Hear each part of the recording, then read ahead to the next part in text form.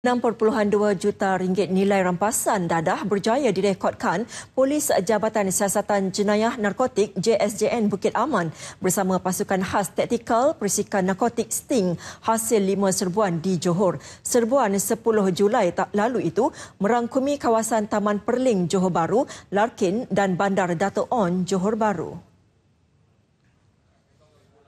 Serbuan melibatkan rampasan dadah jenis syabu, kokain, ketamin, ekstasi, remin 5 dan ephedrine.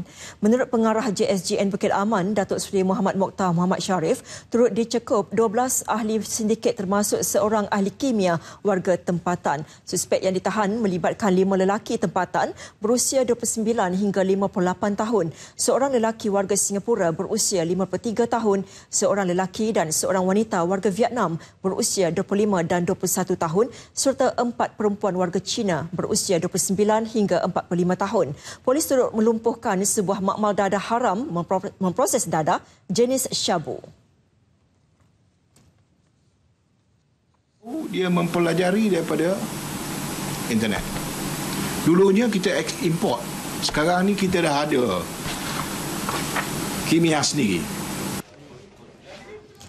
Juga dirampas empat pucuk pistol serta 140 butir peluru, sebutir bom tangan, tujuh buah kenderaan, wang tunai bernilai RM57,000, tujuh utas jam tangan dan pelbagai jenis barang kemas. Lima suspek direman selama tujuh hari sehingga 17 Julai dan disiasat mengikut Seksyen 39B Akta Dadah Berbahaya 1952.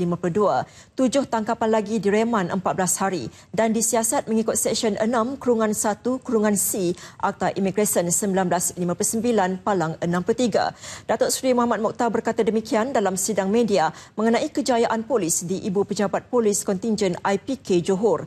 Bagi tempoh Januari hingga 12 Julai, pihaknya berjaya merampas dadah bernilai keseluruhan 119.92 juta ringgit dan menahan seramai 96,284 individu.